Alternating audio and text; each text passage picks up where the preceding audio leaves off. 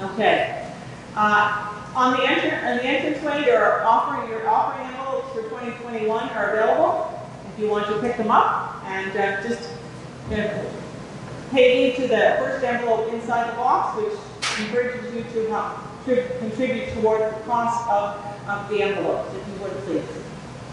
The poinsettias in our sanctuary this morning have been placed there in memory of Wayne Clements by his family, and we thank them for them.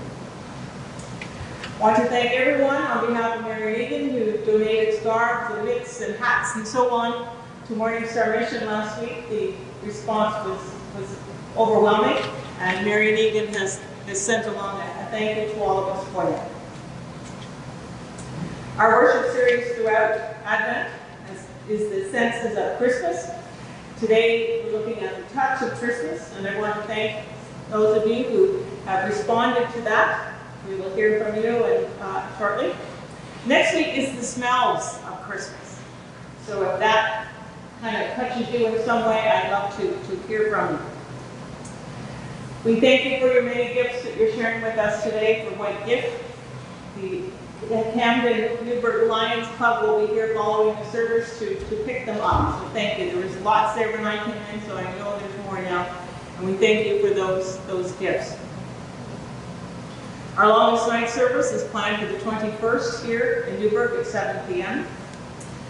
The live outdoor nativity, the drive-through nativity is, is continuing to be planned. We've been blessed with the donation of some cost, costumes, live nativity costumes from another church who no longer is, is going to be doing their, their nativity.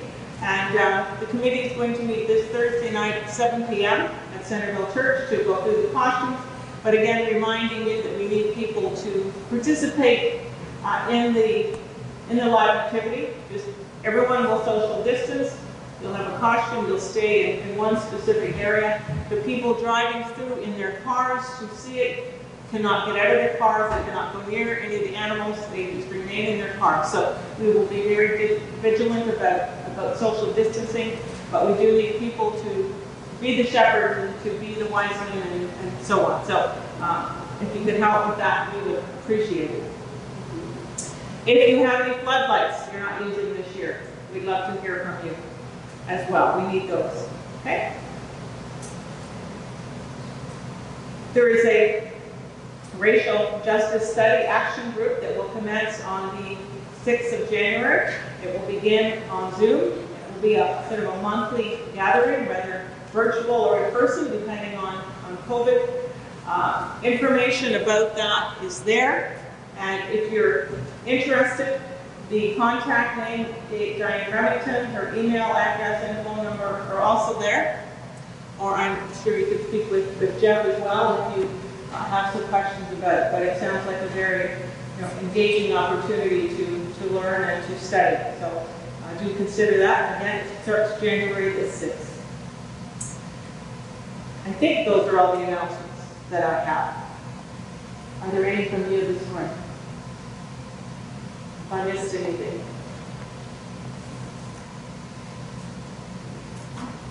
It is so good to see some boys and girls here this morning. We have five this morning, so we're so happy to see you. Our opening carol, Her- Herald Sound, the Note of Gladness, number 28 in your hymn book. 28.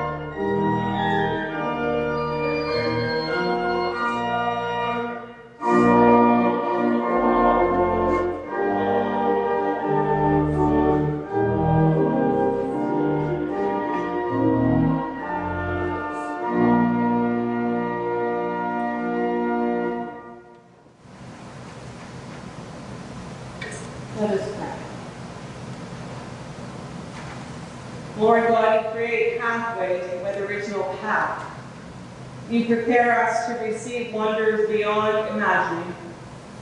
You have called us by name, baptized us with water and with the Holy Spirit. You bless us for abundant living and set us in the world to serve you.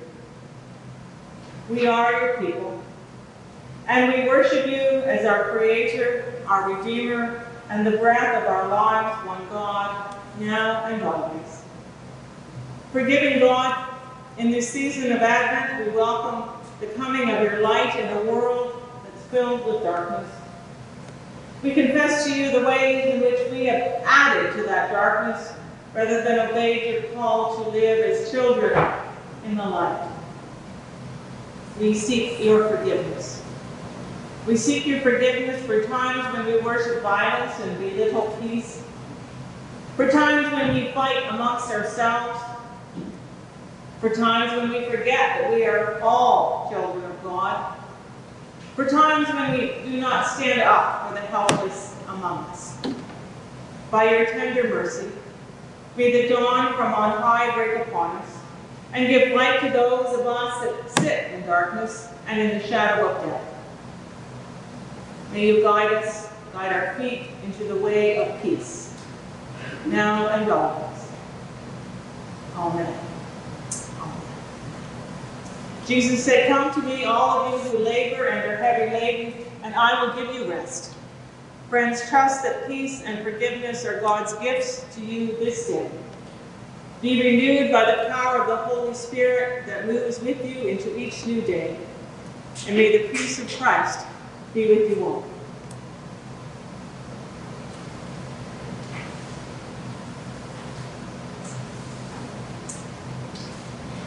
I see Eva and George and Lana and Hillary and Audrey. It is so good to see you. There you are, popping up behind a few. And you had a really good day yesterday together. You did some gingerbread uh, decorating and some cupcake decorating, and you had a, just an awesome day, I understand. Are any of you afraid of the dark? Nobody's afraid of the dark. I used to be afraid of the dark. And in Scripture, in chapter 14 of John, Jesus is talking to his disciples and letting them know that he has to, to go away. And they, they, they get scared. And Jesus says to them, I'm leaving you with a gift, peace of mind and heart. And the peace I give you is not uh, of this world. It's not the gift that the world can give. So don't be troubled or don't be afraid. But remember what I told you, that I'm going away, but I will come back to you again. And when he leaves, he gives us the gift of his spirit. So his spirit is with us always. Well, I used to be afraid of the dark. So what my mom would do would be to leave my light on in my room until I'd fallen asleep. And then when she went to bed, she would turn the light out and it was all fine. Or another thing we can do if we're afraid sometimes. Do you have one of these at home? Eva has one. George, you have one too? Audrey, you have one? Lana, you have one? So, oh, well, sometimes just something like a teddy bear just to comfort us also helps us not be afraid too, isn't it? It's a bit like having the, the Spirit of God with just something to kind of comfort us and, keep us company. Are you afraid of, snakes? How about bugs? Any bugs? Bats? No. Oh my gosh. How about heights? Can you climb a ladder? No, no, no, no, go in there. Okay. How about uh, mice? No. Oh my goodness. Hmm. How about bees? How about going to the dentist? You're not afraid. Oh my goodness. Boy, oh boy. Well, when Jesus told his disciples that he was going away, they got a little afraid. And so he said, you know, I'll leave you my spirit with you that you need not be afraid. And what do you recall what candle we just lit on our Advent wreath today, what it stood for? Anybody remember? It starts with a P. B A C E. Sure. Peace, the candle of peace. And in the book of Isaiah, chapter 9, verse 6, this is the words. For unto us a child is born, to us a son is given, and the government shall be upon his shoulders, and his name shall be called Wonderful, Counselor, Mighty God, Everlasting Father, and Prince of Peace. And that is Jesus that they're talking about. So Jesus, another name for Jesus is our Prince of Peace. So he gives, gives us peace. So anytime that we are afraid, we can think of him and his, his spirit, knowing that it brings us peace. Peace to reassure our hearts that we will be okay. Let us pray. Gracious God, we thank you for your Holy Spirit. who guides us and calms our fears. May we always feel the peace of your presence, especially in times when we are afraid. In Jesus' name we pray. Amen. Thank you. So good to see you. Our gospel lesson comes from the first chapter of Luke this morning, verses 39 through 45. This is when Mary and Elizabeth meet one another, and their lives have, drastically changed. In those days, Mary set out and went with haste to a Judean town in the hill country, where she entered the house of Zechariah and greeted Elizabeth. When Elizabeth heard Mary's greeting, the child leaped in her womb. And Elizabeth was filled with the Holy Spirit exclaimed with a loud cry, Blessed are you among women, and blessed is the fruit of your womb. And why has this happened to me, that the mother of my Lord comes to me? For as soon as I heard the sound of your greeting, the child in my womb leaped for joy. And blessed is she who believed that there would be a fulfillment of what was spoken to her by the Lord. The word of the Lord. Thanks be to God. Let us pray.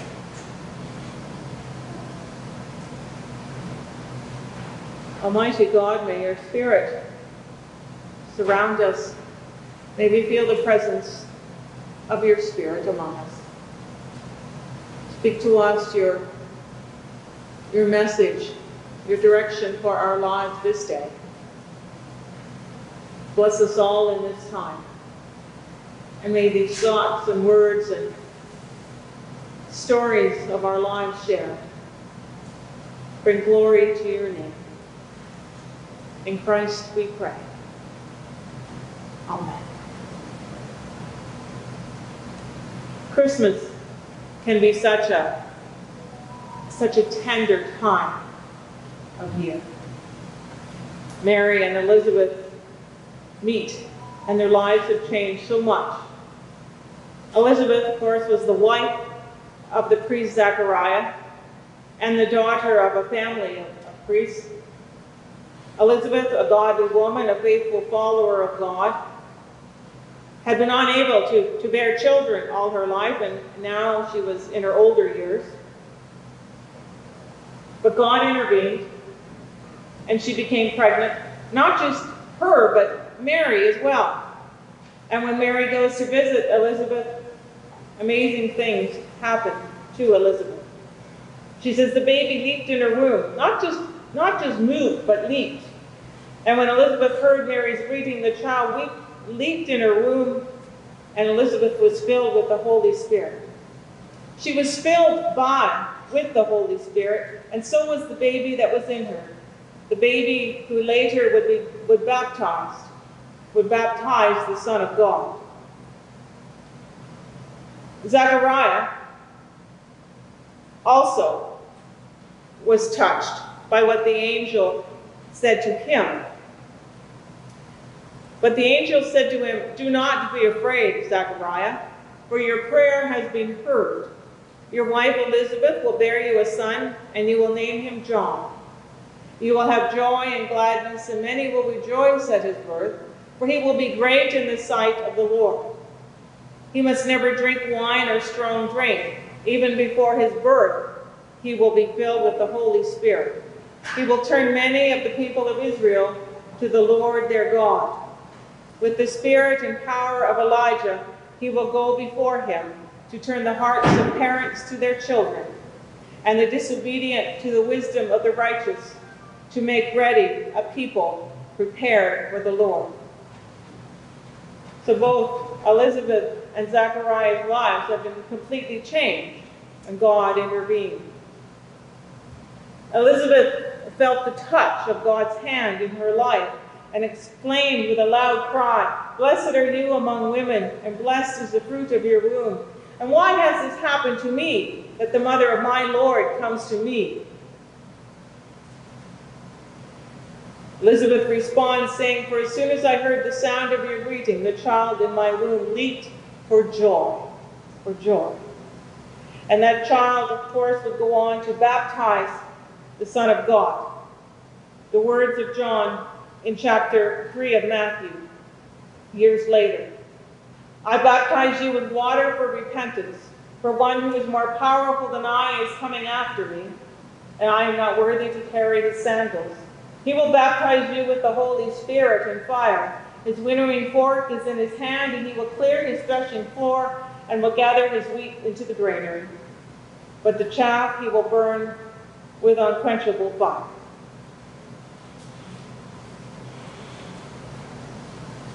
Isn't it true that sometimes we long, we long for some touch, maybe not quite the same touch that Mary and Elizabeth and Zechariah received, but some touch of, of God in our lives, just, just so we know in some way that, that we're real.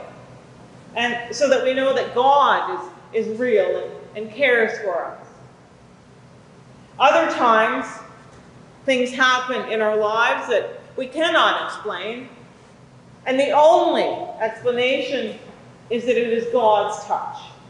God's touch. Maybe something happens, someone is healed who, uh, you know, it, it wasn't expected. Some incident happens that can only be God's hand in it. You may recall the story of Helen Keller, born in 1880 and she became deaf and blind very early in her life. Well, in her younger years, the story is told that after Helen Keller's teacher, Anne Sullivan, had given her the names of physical objects in sign language, Miss Sullivan attempted to explain God. And she tapped out the symbols of the name God. Much to Miss Sullivan's surprise, Helen spelled back, Thank you for telling me God's name, teacher, for he has touched me many times before.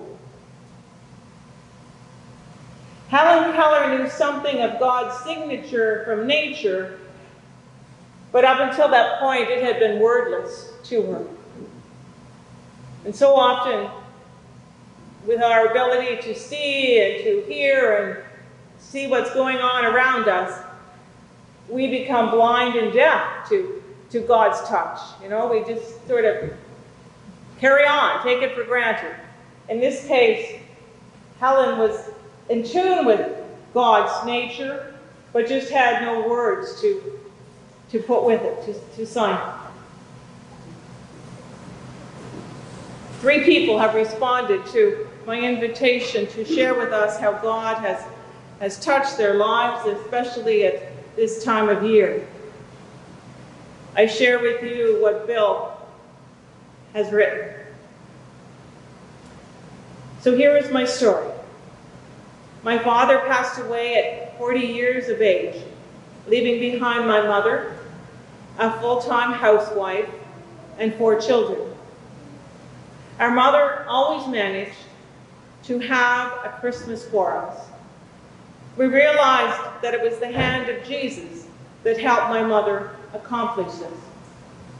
As a young man, there was a dark period in my life. I rediscovered my relationship with Jesus, and this has helped me through this time. I know that Jesus is there for me in any difficult times that I have. Thank you, Bill. I invite Lorraine Yeomans to come forward and to share her story with us now. I um, decided this week when I was thinking of where I wanted to do that, I go back memory lane to my teenage years, living in Acme with my parents, my older brother, and two younger sisters. And it's also with my grandmother in the story too. She did not live with us, so. Has Jesus touched me? Yes, he has in many ways in my life. I hope, it- I hope it continues. I will share with you a few of my feelings. Growing up in a Catholic family, we attended church every Sunday along with my grandmother. We would go pick her up and head to St. Anthony's Church in Centreville. My grandmother was a little woman, very kind and cared very much for her family. She was a mother of four and a great wife. Most of all, she loved her church and believed in her faith. This is my father's mother I'm talking about. She lived less than five minutes from here. We would arrive at the church. My grandmother always led the way to her pew. And it always was the same pew. We received communion weekly, listened to hymns, and followed Father Agnew through the service. What made me feel touched by Jesus was the sun was shining through the windows as it is here today. My grandfather was in his final resting place just outside the church in the graveyard. My family, all of us, same time, we're worshiping together in Jesus' house, the house of the Lord, we call it our church. My parents and my grandmother were proud of us all, and we must remember one of the Ten Commandments is honor thy mother and father. Here I am today, holding Jesus close to my open heart and following my faith. When I hear the ringing of the church bells, that means come to worship with you people. When I hear the sounds of the organ playing and the choir singing, it fills the air with joy and peace. Listening to Barbara's sermon, listening to Barbara's service, her sermon and her prayers, and keeping them also close to my heart, keeps me going the day moves the body. So I feel like I've touched by Jesus in so many ways, and continue to follow my faith and hope, and attend church as regularly as I can. Thank you, Lorraine. Thank you.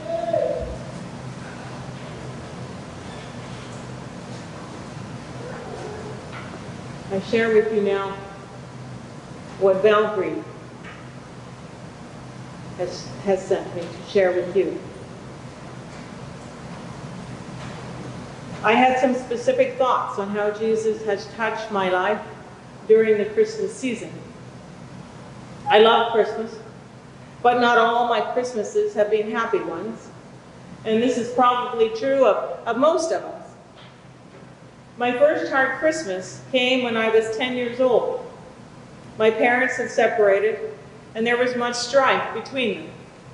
I remember my father coming to the door with gifts for us, and he and my mother got into a terrible fight. And she would not let him see my five younger sisters and me. We were so torn because we loved them both. As Christmas drew near, my mother became more and more upset because she did not know how she would provide a Christmas for us. On Christmas Eve, there was a knock at the door. Someone had put on put us on the Salvation Army Christmas basket list. They came in with wrapped gifts and a bushel basket containing everything we needed for Christmas dinner. My mother cried. My sisters and I were amazed. We felt the touch of Jesus during that dark time through the kindness of strangers. Gifts are always nice, but it did not really matter what was in them. It was the kindness that meant so much to us. May those gifts that we've brought today to share with others have some similar impact. She goes on to say, Christmas of 2003 was a hard one. My father died on November the 26th. Five days after his death, we were told their mother was terminally ill with cancer. I attended the longest night service at our church. I was heartbroken. Our minister said that the grief we feel when we lose someone is the price of love. I knew it immediately to be true, and I knew as hard as it was to go through that kind of grief, that ultimately it was worth it. We can avoid it if we never loved anyone deeply, but what kind of life would that be? I felt the touch of Christ that night, and through the tears felt the profound gratefulness that I had been given the gift of being my Father's daughter. I felt com- comforted, and I knew that comfort came from Christ through the words of our minister. The following Christmas in 2004 was also difficult. My mother was admitted to palliative care, the unit of the Stratford General Hospital. My sisters and I gathered at the hospital. We knew her time would be soon, but we did not know exactly when. She finally passed on the 5th of January 2005. Through that time, the staff of the palliative care unit were so kind to us. The hospital chaplain was a frequent visitor to her hospital room. I am sure that all these people would normally be kind, but it seemed to me that the Christmas season seemed to bring out kindness in others even more. I felt the touch of Christ again through the kindness of others. It was the little things, the offer of a cup of coffee, a warm hand on the sh shoulder, a caring word. I was raised in the church and first came to know Jesus as a child. I have felt his touch many times, often through the kindness of others. And I still love Christmas. Val. Thank you, Val.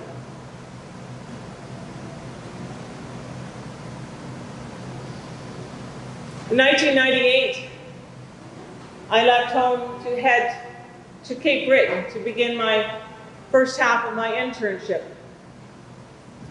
It would end at the end of December. My sister rode with me and we took our time enjoying the, the scenery on the way to Cape Breton. I arrived early and got set up and established, found my place to live, and but I knew that I wouldn't be home for Christmas, and that would be the first time ever. But just days after I arrived, my supervisor said, why don't you start your internship a little early since, since you're here? And that way, you can maybe make it home for Christmas. I did. I was asked to preach the blue Christmas service that they had annually there. And after thinking about it for some time, I referred to the song, I'll be home for Christmas, if only in my dreams. I think that song has stuck with me because of, of being away.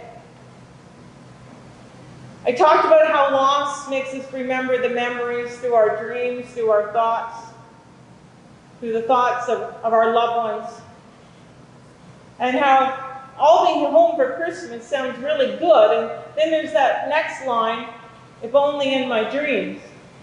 And maybe sometimes only in our dreams is the best way to be home.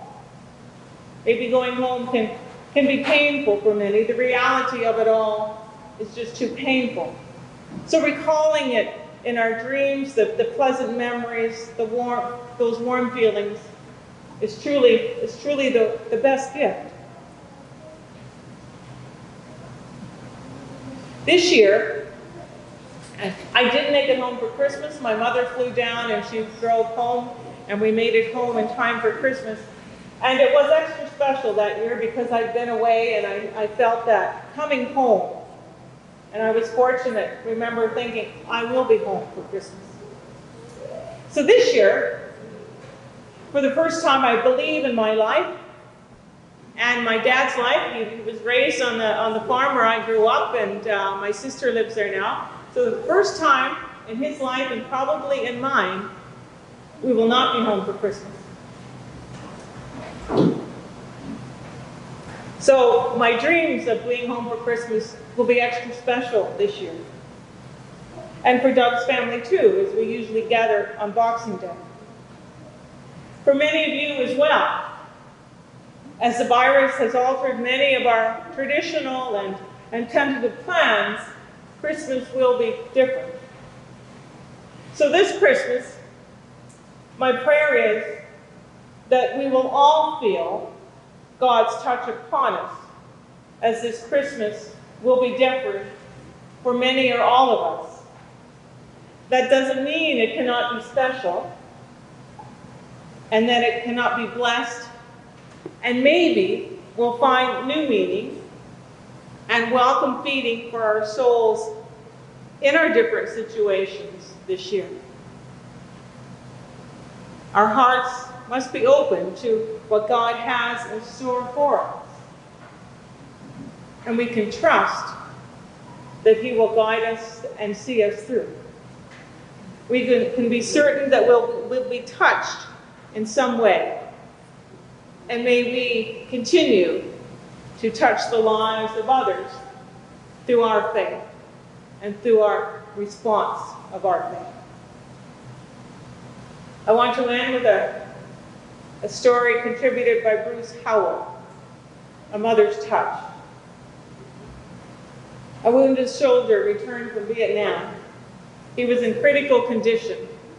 He was blind, his mind was clouded, his body was mangled. His mother traveled over 2,000 miles to be by his bedside. As soon as she entered the hospital room, she laid her hands on his brow without saying a word. Instantly, he said, Mother, is that you? It must be you. She hadn't spoken, but he knew the tender touch of her hand. That's the way it is with God. We can't see him, yet we, we, we feel his touch upon our lives in so many different ways. We speak to him, but receive no audible answer. And yet we leave his presence calmed and consoled as a child. God's touch came to earth as an infant who became a human, human being just like us. The touch of those who opposed him put a very firm embrace upon him, nailing, to, nailing him to a cross. But even death could not keep a full, full, firm hold on him, and he rose from the grip of death. His light, his, his resurrection, darkening the, the evil and darkness away, bringing the light of his reassuring, loving, caring touch into our lives. I know that if you look over your shoulder, you will see his hand upon you reassuring you and me that we will be okay. Changes are always difficult, but we do not face them alone. This Christmas may be the opportunity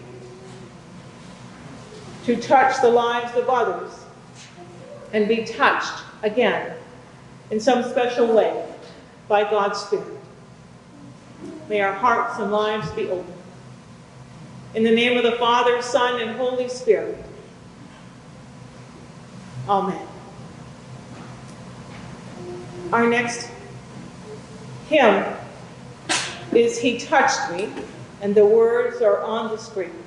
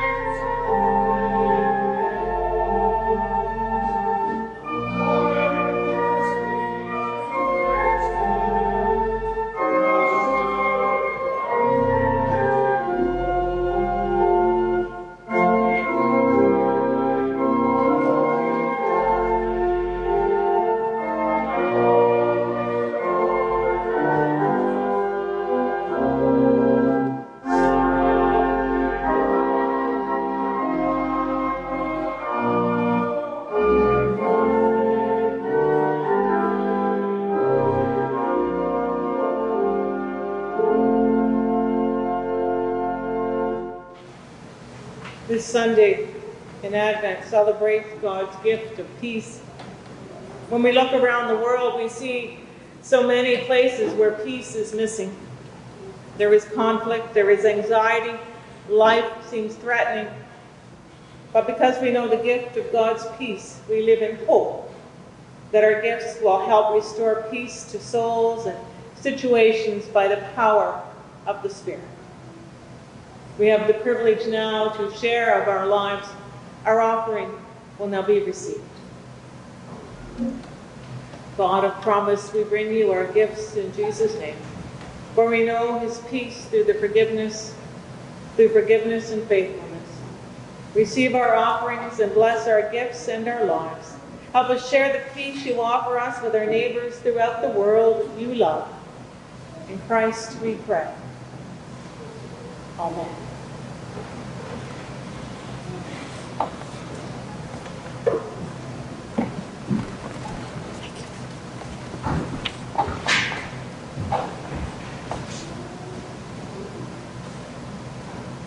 Let us pray. God of wisdom and patience, in this season of Advent, we wait for your gifts of hope and peace to claim the world once more. We wait on you in prayer, knowing you hear us even before we speak.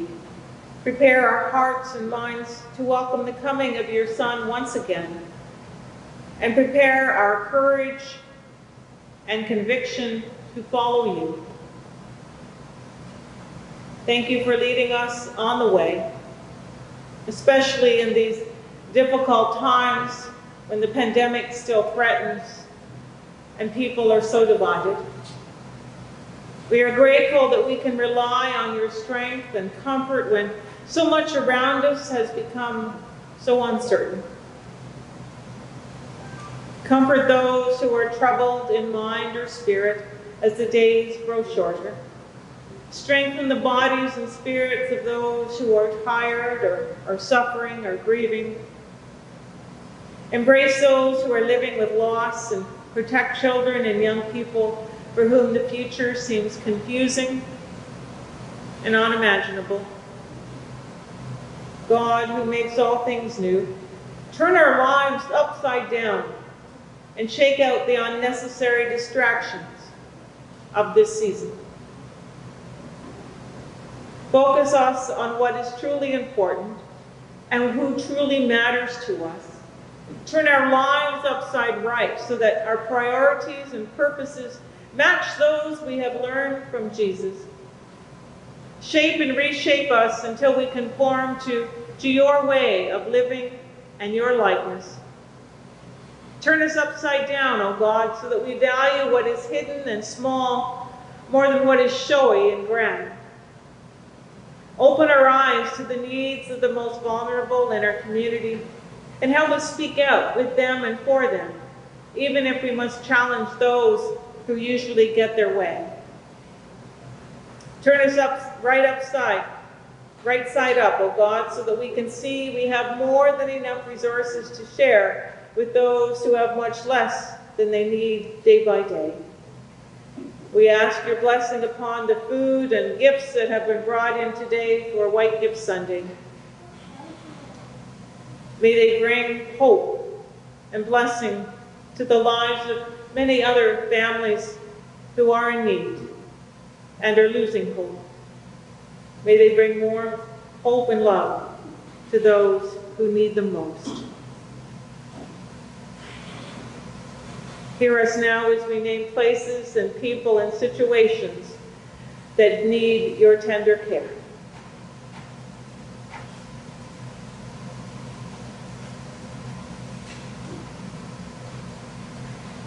We include Cheryl and Arissa and other families who may be grieving, going through a great time of, of difficulty and so much uncertainty of, of Christmas plans.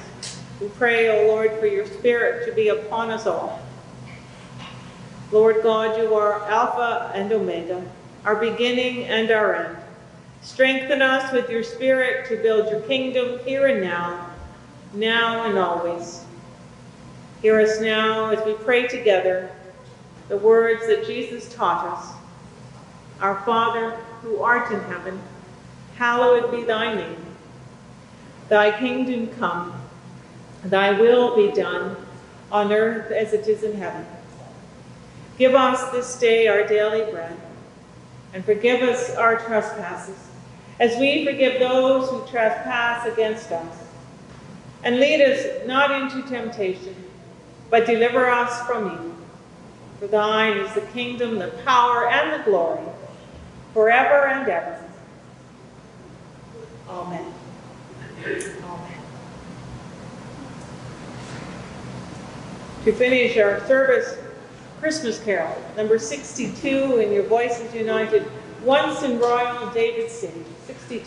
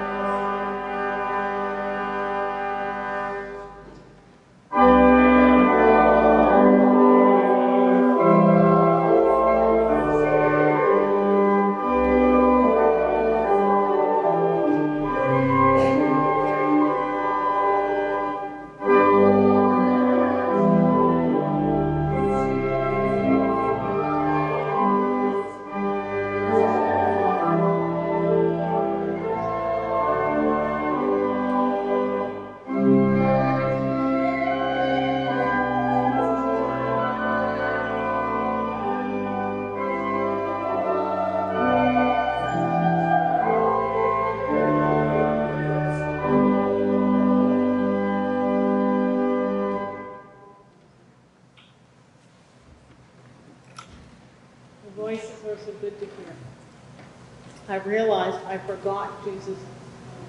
Away in a manger. Will you come again and we'll sing it next time? I invite you to sing.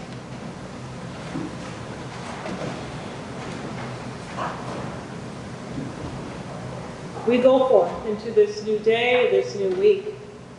May the grace of God uphold you.